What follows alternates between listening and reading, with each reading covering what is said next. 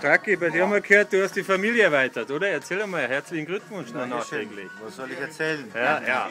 Gewicht, wie viel? Alles gesund? Ja, Zwillinge sind das Mädchen. Alles bestens.